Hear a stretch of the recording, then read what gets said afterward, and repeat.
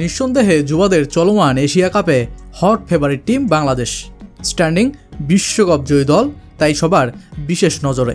সংযুক্ত আরব আমিরাতে বসেছে এশিয়ান ক্রিকেট কাউন্সিলের অধীনে অনূর্ধ্ব উনিশ এশিয়া কাপ। আর বাংলাদেশের যুবারা সেখানে রীতিমতো গর্জে উঠেছে।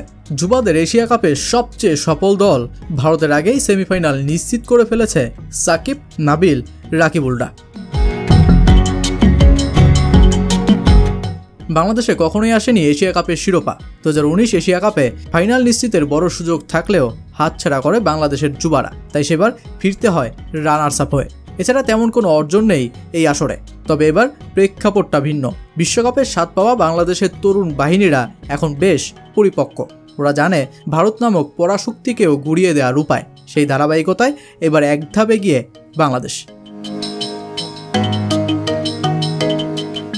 আট দলের এশিয়া কাপে বাংলাদেশ গ্রুপ বিতে। এবারের আসরে বাংলাদেশের অনূর্ধ্ব উনিশ যুবাদের প্রথম ম্যাচ ছিল নেপালের বিপক্ষে। যে ম্যাচে বাংলাদেশ তুলে নেয় বড় এক জয়।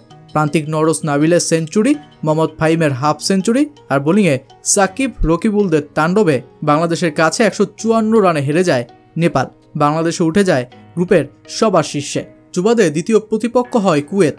সেখানেও ঝড় ওঠে রাকিবুল বাহিনীর ব্যাটে। মাহফিজুল ইসলামের সেঞ্চুরিতে বাংলাদেশ দাঁড় করায় দুশো একানব্বই রান। যে ম্যাচে রিপন মণ্ডল, রাকিবুল হাসানদের বোলিং তাণ্ডবে কুয়েত গুটিয়ে যায় চৌষট্টি রানে।